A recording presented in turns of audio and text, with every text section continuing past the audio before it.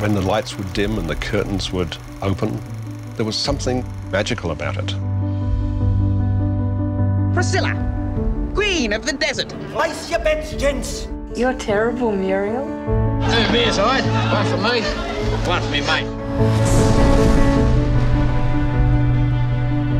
He's a cinephile. A film escapist. He has an encyclopedic knowledge of cinema. He has seen more films than I think anyone else I know. Some people's hobby was collecting stamps, mine was collecting movies.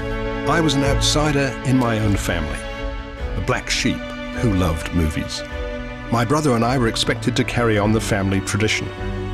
All I could think about was my passion for cinema. Living at home with our parents was proving pretty difficult for him. I came to live in Australia. When I made that decision, I was burning my bridges. My father was beside himself with fury. I feel sad about that. How long you been in Australia, mate? Here is the story of my career. When I started championing Australian cinema, I didn't realize it would be the turning point of my life. No other critic became known outside of Australia. We love you, David. Have you laid an egg? They said to me, Oh, David, we watched you on television, and my mother said, He's my son.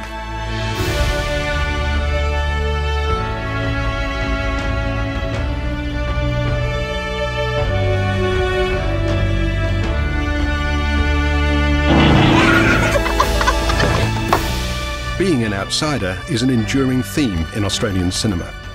Tales of the struggle we all face to fit in and belong. I feel a deep affection for Australian films. They are, in a way, the movies that made me.